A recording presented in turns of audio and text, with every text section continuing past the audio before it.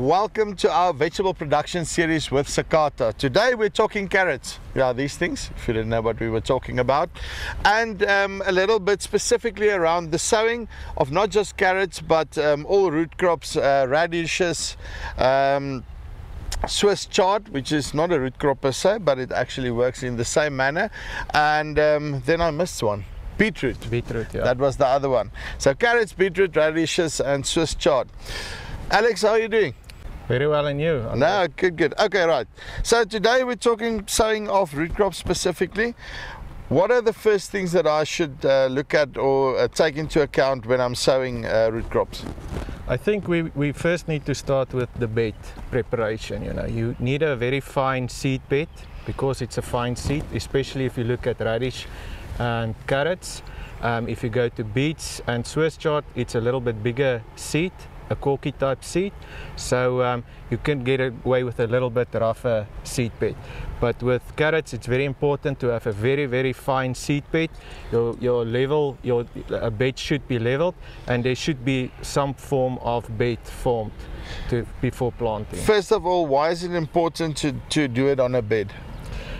The important thing is then we manage the, the growth of the carrot. We want a very long carrot and we want to prepare the soil that it's very deeply prepared so that the carrot can grow very deep into the soils.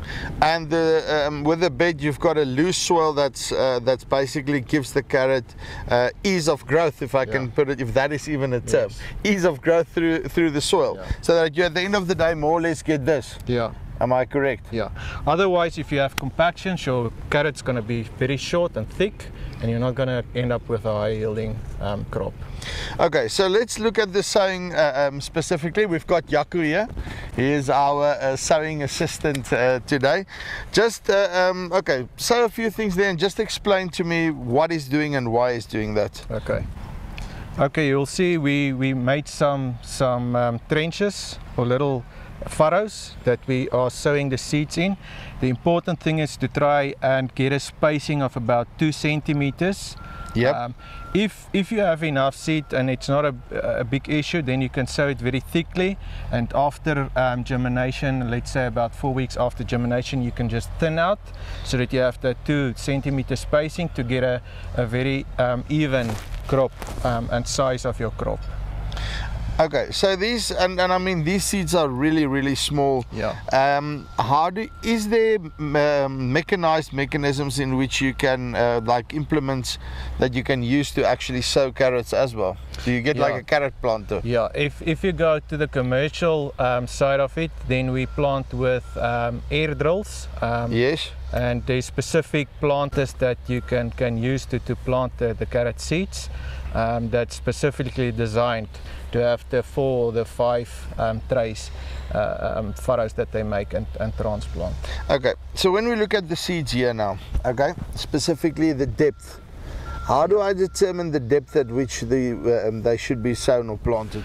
Okay, especially when you look at carrots, the important thing is um, that we don't want to plant it deeper than the first lid of your, your finger. So one centimeter deep, um, not too, too deep, uh, when you go to a beetroot, that's a bigger seed, you can go a little bit deeper than that, but the, the optimum would be just a centimeter underneath the, the top layer of the soils.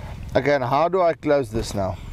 Okay, so this will now be closed um, just by you know just closing it like that yeah and then very very important because we're working with soils um, yep. you get a, a, a, very dry layer as soon as you start spraying especially with overhead irrigation okay. um, it's very important that we put a, a, little bit of organic material like compost yep. um, on top of this this uh, layer where we planted the, the seeds and that's just to make sure that our soil topsoil doesn't dry out so um, basically what happens if, if you've got overhead irrigation, yeah. the, the drops will basically fall on here, specifically with these chuck chuck sprayers that you've got, and then that basically compacts the soil and Yeah. it uh, basically forms a layer, and then your carrot struggles to get to get out. So what's going to happen is your top layer dries out, your seed will start growing, hit the top layer, it's too dry, can't get through, turns back, grows down and, and it dies. And you don't have a good germination. So at the end of the day, it's important before you water, put that layer of, and, and I'm guessing you can just put it like that. Yeah,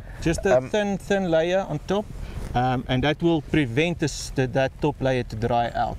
Um, and then just just keep your soils moist, not not too wet, just moist until you get all your seedlings coming through. So last thing I want to know is in terms of, um, as you say, just keep the soils moist. But my first water that I then give after um, sowing, um, how much water should that be, or um, yeah, uh, that it that it doesn't, uh, um, what do they call it, drown the carrots, if I can call it so that. For the first first few weeks until germination, I would say just your you just want to keep your top layer moist. Yes. You don't want to um, wet your whole whole bed. It's just to get the germination, uh, um, the seeds to germinate and to get through the soils. As soon as it's through the soils, then you can start um, uh, checking your different soil le- uh, uh, layers, and uh, you manage the irrigation looking at that specific. How long from planting until they start to emerge? It's usually between, especially now where we have higher soil temperatures, it could be anything from 7 to 10 days. In winter, it can go up between 14 to about almost 21 days. So depending on your Yeah, temperatures soil uh, um, temperatures so is forth. the big uh, determining factor. And then another thing, um, so some people uh, uh, um, plant it open field. Sometimes they, they, they like to have covering. Which one would be best at the end of the day? Or with carrots, doesn't really matter. Um, well, it doesn't really matter that big, but um, it's, if you plant carrots, doesn't matter if it's in your garden or it's in the open field commercial, um, it should have full sunlight. Uh, Yeah. That's very important um, because you've got your factory that's growing uh, uh, on the, at the top, your leaves, and that needs to get enough sunlight um, for the root to, to So grow. it doesn't like shade. no, it doesn't like shade. I think that's an important part. I might have uh, made that mistake in the past. Alex, thank you very much. Okay, so sowing of carrots and all other root crops, um, specifically Swiss chard, same thing, beetroot, same thing, and radishes. Um, it's part of our Sakata vegetable production series.